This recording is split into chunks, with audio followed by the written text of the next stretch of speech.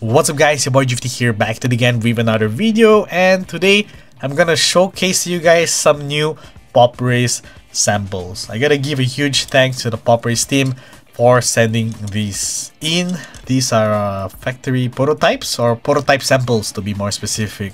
And these are like uh, early versions of the car. You know, these are subject to uh, license approval and all those stuff and whatnot. But more or less, the cars that I have here are a good representation of what the public release for the car will be like.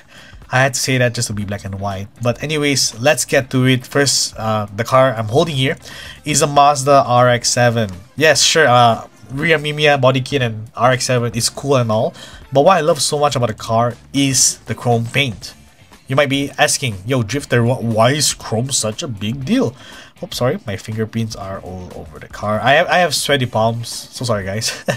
the reason why it's a big deal is because up till this point, the only way you can kind of get a chrome car is by buying a Hot Wheels Redline Club car. And that's like 25 plus 7 US dollars. That's, that's, that's crazy.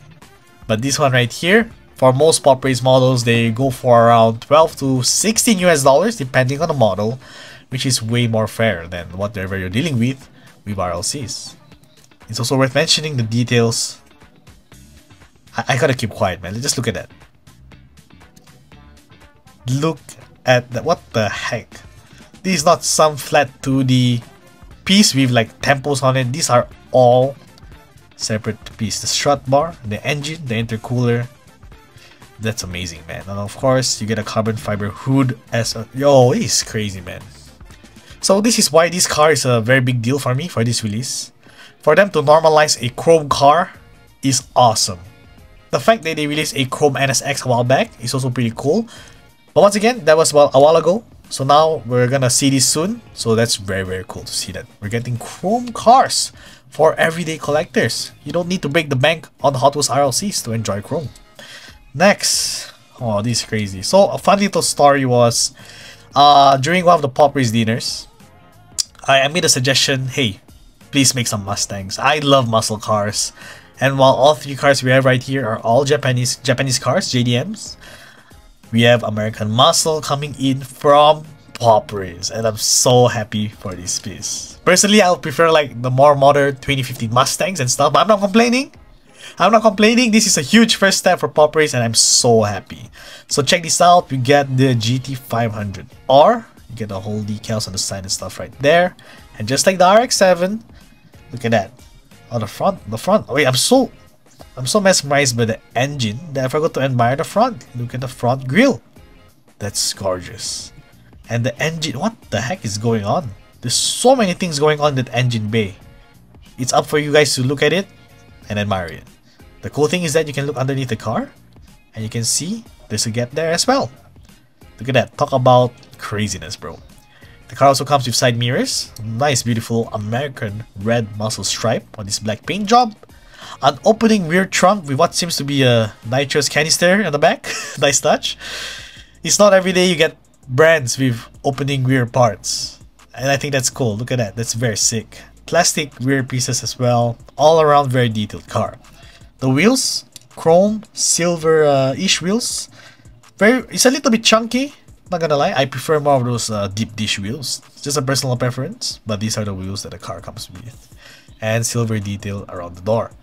A lot of these Pop Race models, they have very detailed interiors. It's a bit hard to see the interior. The window is really small, but who knows, maybe in a future release with a white or silver interior, you can see it. But Pop Race interiors are pretty detailed.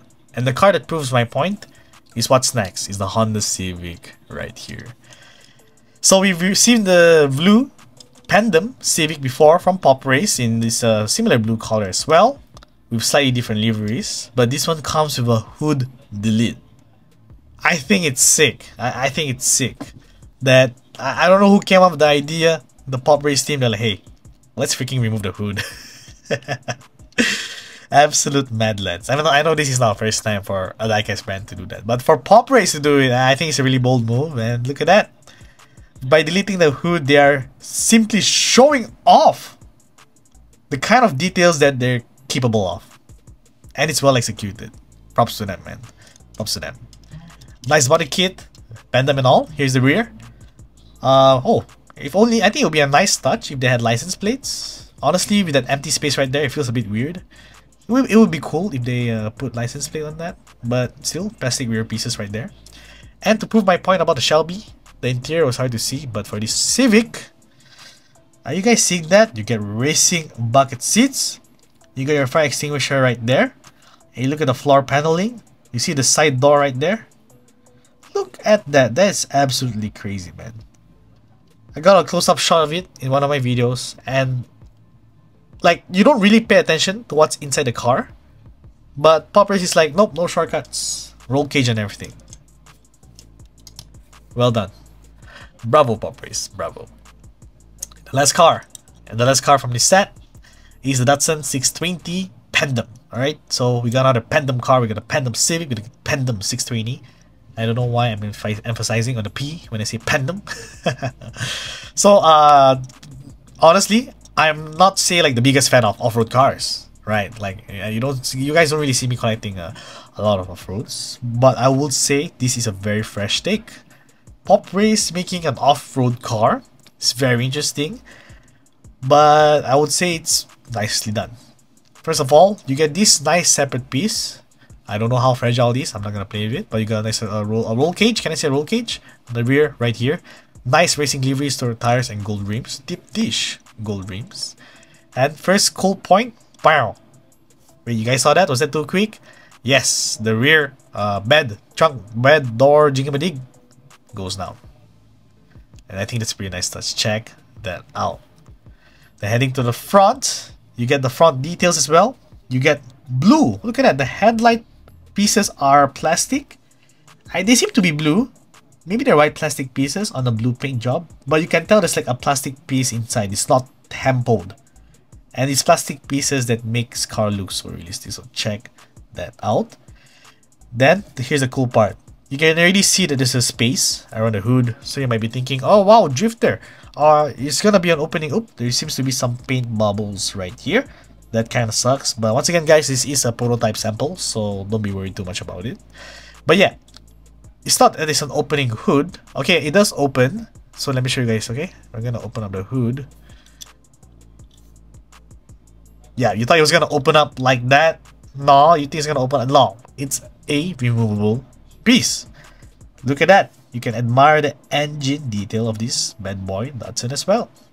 Now you might be thinking, what? Yo, Drifter, like, if, if it's just a loose piece that, you know, can, you know, be flimsy around, what if I put it on the truck? If I put it on the truck, won't it, like, fall? It will, it will fall. No, it doesn't.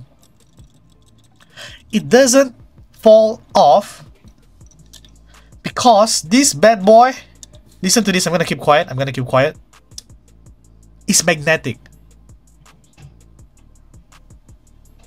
Yeah, I bet some of you are like mind blown. I was mind blown when they implemented this on the NSX. And then for the CLK as well, which hopefully comes out soon. And then they're doing it again on this Datsun. Brilliant. Absolutely brilliant. So I'm gonna stop drooling over these cars. It's worth noting once again guys that uh, Pop Race did send me these cars. So there is a certain biasness towards this when I say all these nice things about Pop Race because they did send this to me for free. But I hope that I've convinced all of you. But yeah, I, I hope that I've convinced you guys on these positive points. You know, it's just not me like sucking up to them, you know, like, oh, like gok gok and stuff. These are like real points and I hope I've convinced y'all. Obviously, there's gonna be people out there saying like, "Oh, Pop Race sends you this stuff for free. That's why you're saying all these nice points." But I honestly think you're valid. But once again, maybe you uh, you differ from me. Some people, some mentioned in the comments they don't really like the stance of the RX-7. I get that. Maybe I'm so blinded by the chrome that some people do pay more attention to the stance and stuff. I don't know. But tell me in the comments, guys, what are your thoughts on this, and which one is your favorite? But with that, thank you guys for watching this video. I hope you guys enjoyed, and I'll see you guys in the next one. Bye-bye.